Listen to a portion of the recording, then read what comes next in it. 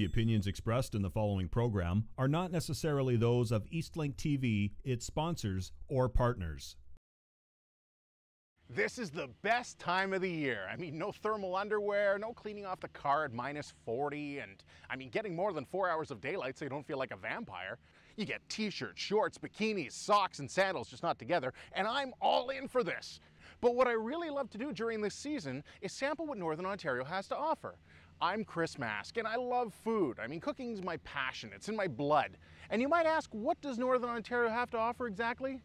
These transforming these little dirt nuggets into crispy, golden works of art, and it's my job to try them all.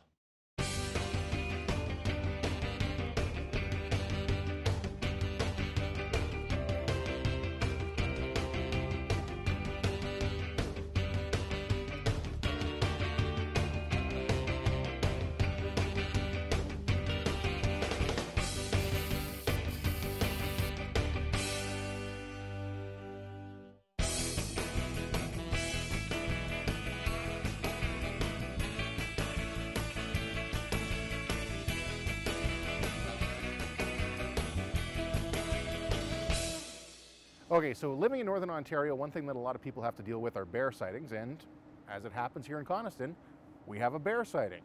Now, Mario, everybody calls you Bear. Yes. You have a mobile fish and chip truck. Yes, I do. Never heard of that before. This is almost like a food truck. So, what was the inspiration for that? Uh, well, we started doing this as a fundraisers to help out schools and fire departments, any local charity. And it just got bigger and bigger, and now we're decided to open up a basically a mobile food service or mobile food trailer, you might say. Uh, we go all over Ontario and Quebec. Um, we do many festivals. We do like powwows. We do weddings, um, special events, um, backyard parties, backyard barbecues. Uh, we run pretty much year round. Uh, mostly it's in the winter, in the summertime, from March till probably around November. That's our summer, busy summer season. And then in the, what we call our winter season, starts at the end of November. We go through, then we have Christmas parties, uh, staff parties. Uh, people have, like they call them skidoo parties at home. They hire us, we come in, we do all the cooking, we set up, um, they eat, and then we leave. We pack up and we leave. That way the host doesn't have to sit around and do the cooking, do the cleanup, serve anybody. We do everything. And with your certification, you're considered a mobile kitchen, so you can do everything right on site. Right on site. Everything, all the food is all prepped on site. Uh, the cooking is all done on site. Um, like I said, we're a fully certified mobile kitchen. So this is really a one-stop shop, and this is great. I mean, you're here in Coniston today. You're going to be in the. Uh, you're going to be over at the Dokis Reserve, I believe, tomorrow. You Yeah. said. Uh, this weekend we're going to be at the Dokis Powwow. Uh, it's a yearly event, uh, and we go. That's one of the events that we do. And you were in Warren last weekend. Okay, well, why don't we get inside then and see what you got going for us? Sounds good. Awesome. Okay, so here we are in Bears with the three bears Mama Bear, brother in law Bear, and of course the original bear here. What are you making for us today? We're going to make some fresh Lake Erie pickerel and fries, made from our homemade batter, and uh, hope you guys like it. Can you give us a secret on your homemade batter? It's a secret. That's the secret, I guess, to everything, right? I mean, a good batter is really what uh, what makes a really good fish. Definitely. It's obviously no fish because you go through a lot of it. A lot of it. And when you say a lot of it, you were saying 13,000 pounds of fish. Yep. A good weekend, about seven, 800 pounds? Easily. Yes, we do. That's amazing. Do you get sick of fish after a while? No. No? I guess fish are a staple of uh, a bear's diet, anyways. That's right. What has to be the most challenging thing for you than running this uh, mobile chip stand? Going from place to place, making sure that the property, the space is proper, uh, the area is nice and level most of the time. Sometimes we have challenging events that trailers are not uneven, so we have to put them up to level before we, everything gets started in cooking. And I like the fact that with your band of fryers that you have here, your fish is separate from where Separate. actually yes, fries that's right. are So going there's in. no cross contamination with the fish or the fries, and uh, that way, if people have allergies, you can have the fries, you can have the chicken. We cook chicken separately in our different fryers, so the fish is always secluded only by itself. Same batter as the uh, fish? Nope. Nope. The, bat- the chicken's already pre-battered. Uh, it's frozen chicken tenders that we buy. Um, that way, they're always perfect and good. But we are dealing with absolutely fresh fish here. Definitely fresh, as you can see. I mean, it's it's fresh. It came in yesterday. If so- you had to give a piece of advice for somebody who's looking to start up a business like this, what would it be? Patience, hard work, and time, And a good staff, right? Mama and an excellent staff. That's yes. right. Yeah. You got to keep her happy. I That's take right. Brother-in-law Bear? Eh, not so much. Nah, not so much. That's right. So what do you have your fryer set at for your chips? Probably about 325, Uh, 350? 350. Uh, everything's cooked at 350. And what kind of potatoes are you using? Uh, poulet potatoes. They're Kennebec potatoes.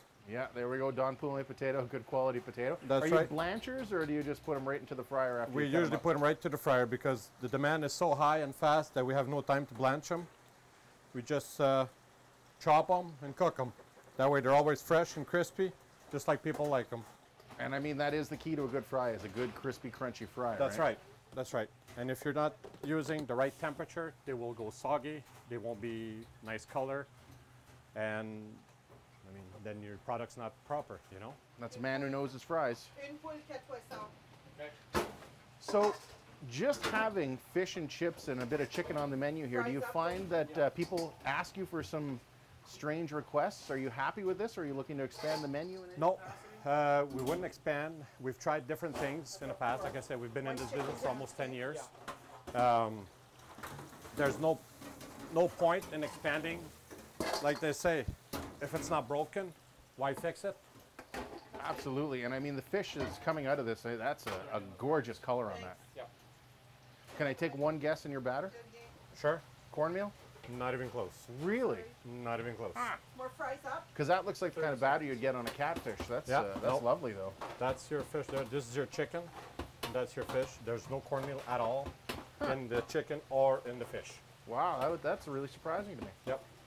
So no gravies, nothing. It's just bare bones fish and chips. Bare like the bone name fish and chips. Sometimes when we do special events, um, we'll do uh, poutines, like in areas where there isn't uh, any poutine served, or we'll do onion rings also.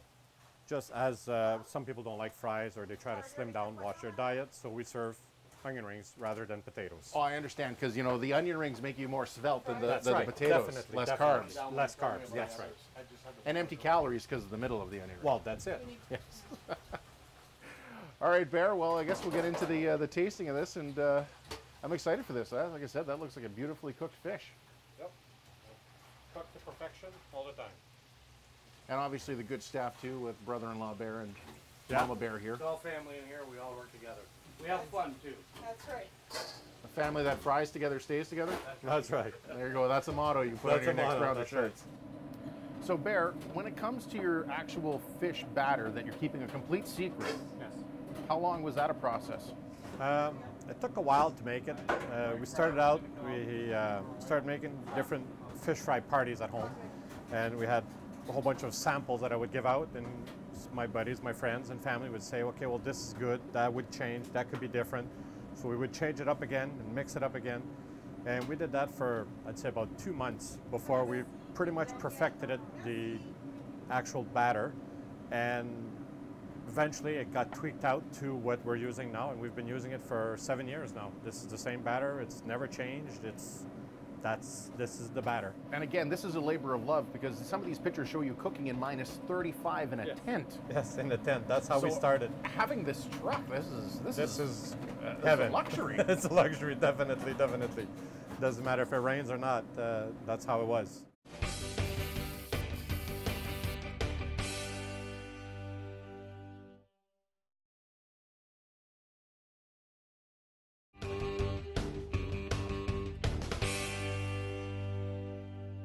So back here at Bears with Bear and your fish and chips. Now, uh, just just so that people know, this isn't the actual size that you give. I just asked for a smaller portion No, of fries. that's uh, actually just like a kid's size. because I'm trying to watch my svelte figure. Definitely, you can see, definitely. you know, but it's all cholesterol free. cholesterol free. Good. Is it calorie free too? Sure. So the one thing that uh, you mentioned is that the uh, cut of fry here is not like your traditional cut. No, It's a little on the smaller side. That's right. It's a 5 16ths. And the reason we went with that is uh, it gives you a crispier fry. The fry doesn't get as mushy. And they cook a lot faster than your traditional 3 8 fry. So you can see that you got a really nice color on this. Yes. And I've already been snacking away at this because it's a very fresh taste. You really get that potato taste. There's not an excess salt on this. I mean, this is perfect. Uh, to me, honestly, a bit of malt vinegar on the side of this, and I'd be in, I'd be in heaven. I think Gordon Ramsay would probably be in heaven with this. I'm again stunned that there is no cornmeal in this because even just the color on this, you can see the speckling of your spices, which will remain a mystery. Definitely. And you haven't given me any hints of anything that's in your batter. But this is fresh Lake Erie pickerel. You can see the, the moisture in that. This is perfectly cooked, so good job there, brother-in-law Bear. Thank you very much. Mm. Yep, this is a beautifully cooked piece of pickerel. Good job, that is awesome. Thank you. Now, if I can just get your chicken as well, because Yes. we talked about it as I've got my mouth full. And even though this isn't this isn't made from scratch on site, the one thing that I can say about your chicken is again, gorgeous batter on this. You don't even have to say who your Yes. supplier is. But again, the moisture inside one of these chicken fingers. This is not processed. This is full on chicken breast. Yes, it is. You guys have this down to an art form in here between you, Mama Bear, and brother-in-law Bear. And honestly, this was an awesome experience. Thank Like you. you guys really do a good job. Awesome, Bear. Thanks. Can I get a hug? Give me a hug. Bear hug. A bear hug. I had to do that. Mama Bear, can we do this without getting into sister wives? Yes. Okay, perfect. Thank you. How about brother-in-law Bear? Oh, he's going to come in on this too. It's a hug fest for everyone. Thank you for coming up. Good job. You know what, guys? Thank you. This is this is awesome. Bears, if you can get a bear sighting here in Northern Ontario or beyond, I highly suggest you come and check this place out. Great job. Thank you. Thank you. Awesome job.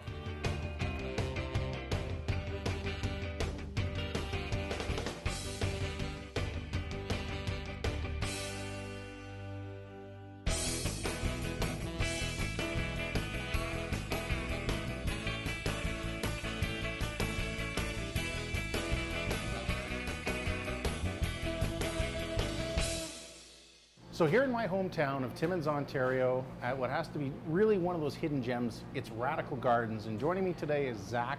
You're the lead farmhand here. I mean, this is so, this is such a unique location and such a unique concept for a city like Timmins. Where did the inspiration for this come from? Uh, it came a few years ago. Uh, the founder of the company, Brianna Humphrey, uh, started her own uh, process of healing through organic gardening, and she wanted to bring that to Timmins. She started a small farm on her parents' property and did market for a few years. Uh, she had some really stellar vegetables and food, so she's brought that to uh, this store location we have now. Uh, currently, we are bringing to market food for uh, a few farms in the area, from as far south as Kinnebec, north of New Liskeard, uh, as far west almost to Hearst. Uh, we also do our own farm, and we are a farm to table restaurant offering food with local and uh, organic as possible meats, fruits, and vegetables uh, every day for people. We also do caterings and an online market for uh, people working shift work here in Timmins to try to get vegetables out to the community. And uh, we do projects like that. You're really giving to the community with this, and one of the neat concepts too, which is you know something you'd see in like a, a bigger like foodie market like down south or something like that, is the fact you've got your own garden boxes even outside. Yeah, absolutely. We figured that it would be something to beautify the community as well as give people access to fresh fruits and vegetables, which many people don't have. So we've done the uh, farm outside there for this summer. Uh, we've got a bit of cabbage in there, broccoli, uh, some Swiss chard, and uh, we're doing a bit of tomatoes. And we're just doing that for anybody to pick on. If anyone comes down, they can take a snack out of it. We have some edible flowers in there, the nasturtiums, and we have uh, chives that are growing quite well.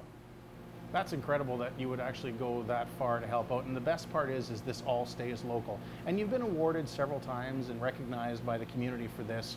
What has to be one of the challenges, though, of bringing something like this to Timmins? Uh, it would definitely probably be that it's uh, quite different from the status quo here in town. Uh, people are looking for a set menu that is the same every day, a wide variety of things that they can rely on. Uh, we try to actually change it up. We go with what we know that we can do very well, but we don't have a set menu every day. We'll have a weekly burger and a weekly special. Besides that, we're looking at um, three different specials a day, usually something gluten-free as well as a vegan option. And uh, we're just changing it up, going with different tastes and flavors. And uh, that's something that we have yet to sell everyone in Timmins on. People who have tried it have quite enjoyed it, and uh, there's a lot of people. It's just uh, they're they're looking for a routine, something set, which we're not really doing.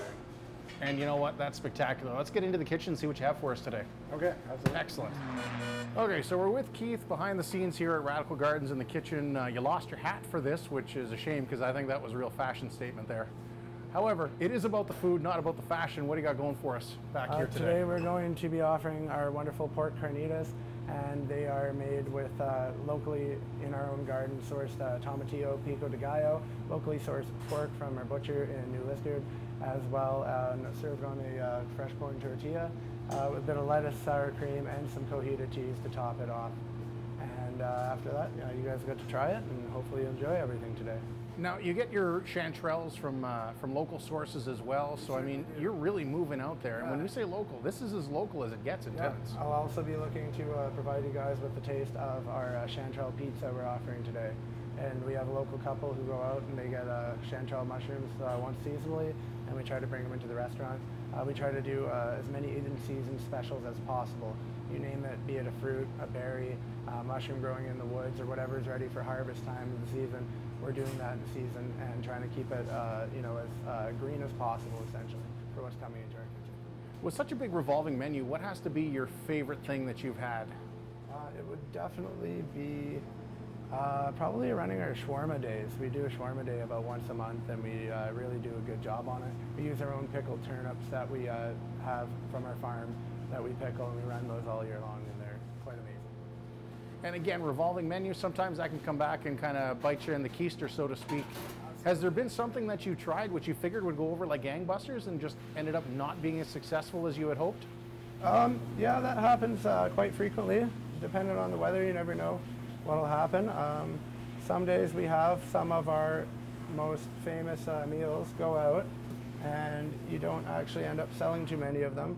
I do recall a few donair days where we had everything left at the end, and uh, you can't really control the ebb and flow in people though, and you just got to keep doing it every day and putting out consistent product, which you want to, uh, you, you yourself would want to eat every day for lunch, you know? So creativity is really not the issue with things, but what has to be one of the challenges of running an outfit like this? Um, well, definitely, uh, when people are owning their own small business, they're dealing with everything from bookkeeper to advertiser to uh, front desk proprietor to being the dishwasher in the back. And uh, the owners here put in a lot of hours every day, uh, doing everything behind the scenes and in front of the scenes for all of the clientele. And uh, it's just probably the uh, sheer amount of time that one has to put into running a small establishment with a uh, small crew. It may be a small group, but you've got an eclectic offering. Not only do you have the food, but you also have the dessert counter. We absolutely do. Uh, we have our in-house pastry chef. Uh, her name's Jen Pye, and she's been with us for about two years now. And she offers a full complement of both glutinous and gluten-free desserts for the people here in town. You even have the Rice Krispie squares there, which are gluten-free, correct? Yeah, because they're not Rice Krispie squares. They're actually Ruffles chip squares to give you a bit of that salty taste. They're quite tasty. See, that's thinking outside of the box, and that's what I think would make something like this so successful. And it, it truly also goes into the labor of love. And you get to see it on all sides, because not only do you work back here, you are the lead farmhand, so you're in the trenches, getting your hands dirty with the produce and everything as well. correct? Absolutely. I am every day. I uh, come into work sometimes, run the cash, help on the restaurant, help do a bit of cooking, and then I'll uh, scrub out. Before I was here today, actually, I was out picking a whole whack of pin cherries in the bush, and we're looking to do some choke cherry jelly with them. So it keeps you busy. Well, I can imagine it keeps you busy. uh, And again, thinking of those new recipes and being able to present it and whatnot. And again, your work, it speaks for itself. You win awards, you're getting recognized, you're getting noticed, and this is something which is truly unique, not only just the Timmins, but honestly, it, it's unique in Northern Ontario because it's very rare that I've come across any establishment like this. And for the record, with Off the Chip Wagon, you were the first business to offer tacos. Well, I hope they do them justice today, sir. Well, I imagine it's better than the uh, than the store bought or the uh, shall we say the cranked out variety of fast food taco. Because I can tell you, if we had smell-o-vision, people would be going nuts. I was drooling just coming in here from the smell of the, the carnitas going on over there. Thank you. And then here you are. These are our local beef carnitas. Oh, fantastic! I mean, look at that. Do you do your own tortilla shells? Uh, no, we don't. We got those. Uh, we got those ordered in, but we are working on getting our own recipe down for uh, doing our tortilla press, uh, which we have. We've just been uh, playing around with it and also looking to uh, source a good supply of locally sourced corn would be the next step. Excellent. I can't wait to dig into this and try this. I mean, this Absolutely. this smells Everything else fantastic. you're looking at, you're looking at your tomatoes, your lettuce, your pico de gallo, your tomatillos, your green onions today, and your pork is all local. So we're looking at this being 98% Yeah. local product, Yeah, absolutely. and it doesn't get any better than that because this is what food should be. This is what really you should strive for in a restaurant, particularly in, any town, not just Timmins. Yep, This is fantastic, and I can't wait to try this. absolutely.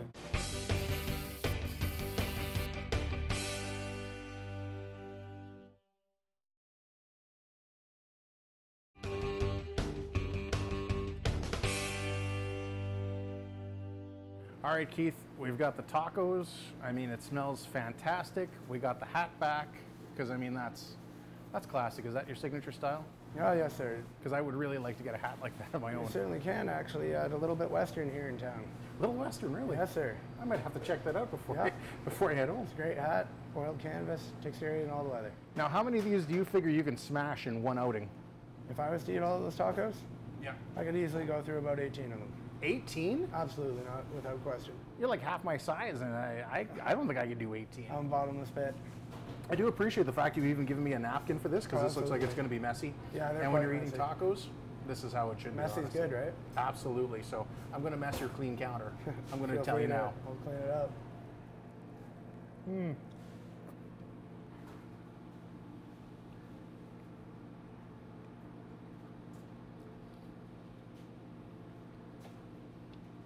Fantastic. Thank you. I'm even talking with my mouth full for this. Oh, it's totally worth it. Pork is one of those meats that can easily dry out. Yeah. I mean, the way you've done it with the carnita style, it's great. The freshness of the veggies just pops with that. This is this is awesome. Our tomatoes and our uh, tomatillos were picked yesterday. They're just ripening up. They're one of the few things that could save from the uh, nasty frost we've been having recently. And you can see these are not dry tacos No, in sir. the least. I've made a mess all over your counter. I'm surprised I didn't put it all over myself too. I also picked the uh, cilantro fresh from herb garden that went into the pico today. Really? Yeah. Again, probably 98% local on this plate, Yep. and not a lot of places can say that. This is fantastic. Radical Gardens, Timmins, Ontario. If you haven't found this, discover it, because this is going to be a regular haunt. With my taco-y hands, Thank you, sir. I'd give you a hug, but we've got too much counter space between us. It's been a pleasure, Chris. You got to check this out. Fantastic. High five on that. Wow.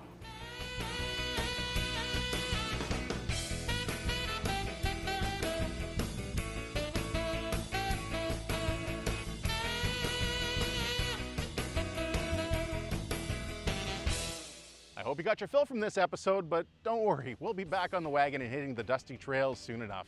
Until next time, I'm Chris Mask. Thanks for watching. Where's this been all my life?